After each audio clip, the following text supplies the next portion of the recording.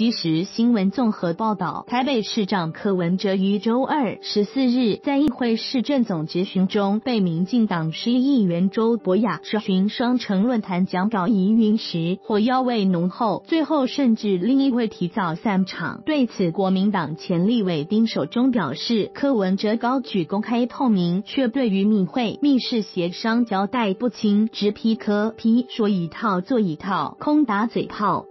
立委丁守中昨在脸书粉丝团 PO 文表示，柯文哲认为公开透明是他主政是否的进步的价值，但却对于他密会、密室协商都交代不清楚，甚至在议会上被要求公布双城论坛讲稿与国安会协商结果的真相时，竟回有些东西不能拿到台面讲，让丁守中不禁质疑，除国家机密外，有什么不能让外界知道？他认为。对于代表民意行监督权的议员，有权知道公务及务作为，直批可文哲说一套做一套，空打嘴炮也是进步的价值。